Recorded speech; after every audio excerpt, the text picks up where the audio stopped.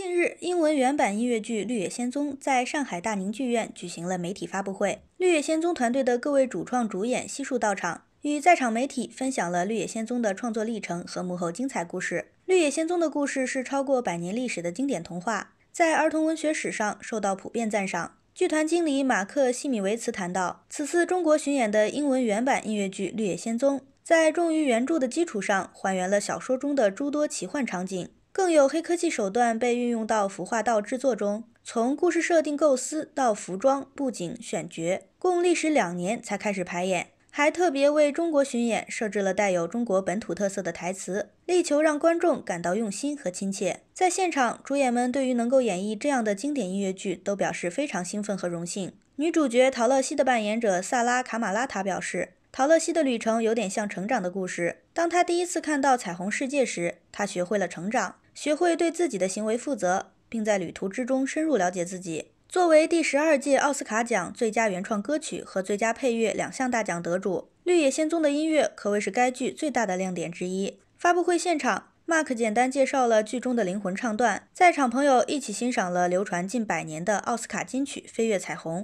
据悉，《绿野仙踪》将一直在上海大宁剧院演出至七月十四日，之后还将在厦门、泉州、宁波等地进行巡演，带着全国大小朋友一起飞越彩虹，在探索爱与成长的旅程里找寻未知的自己。